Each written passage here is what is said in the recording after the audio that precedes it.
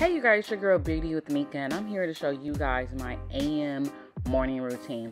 First thing I start off doing in the morning is definitely getting on my Peloton. As you can see, I'm doing a quick 20 minute ride. So let's go ahead and get started.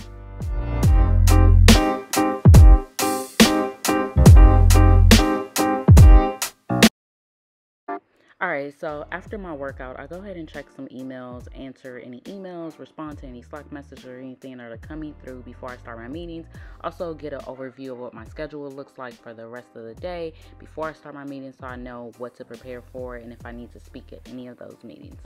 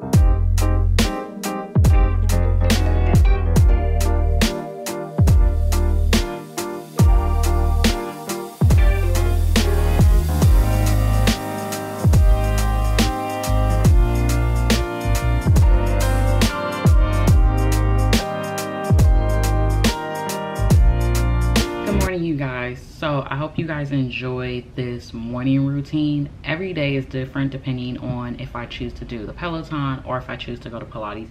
I typically start my mornings off at 6 30 7 o'clock in the morning. Um, i know you guys are like what is she gonna eat for breakfast? For breakfast it all depends. I typically try to eat breakfast before 10 o'clock um, as you see i have an hour before my work call so i always like to be prepared and ready an hour before my actual first meeting of the day. And then i'm always like yep i wear makeup monday through thursday.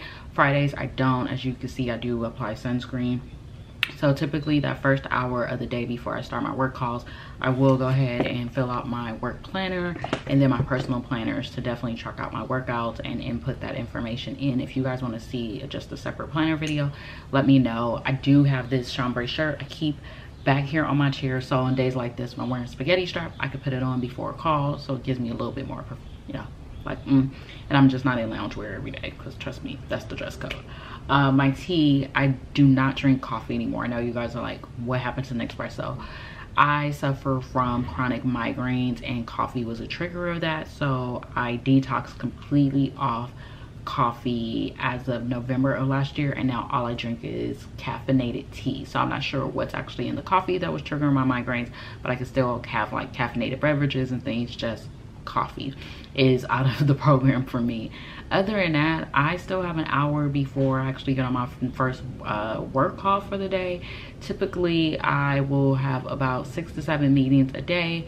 Um, um, my meetings start as early as 8 o'clock in the morning and will end typically about 4 o'clock in the afternoon no later than 4.30 the kids are still asleep. As you see i help prepare their breakfast in advance so when they get up they're on summer vacation um and other than that that's pretty much it. I do my devotionals at night.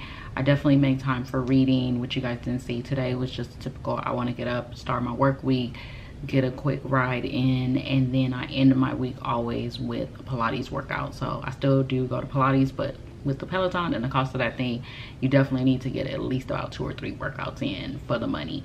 Um other than that i hope you guys enjoyed this video. Don't forget to thumbs up like comment subscribe if you want to see more videos like this or if you want to see a night routine. Go ahead and let me know. I hope you guys enjoyed it. Um of course i can't show you guys a day in my life at work because everything is so confidential but if you want to see more videos just let me know. And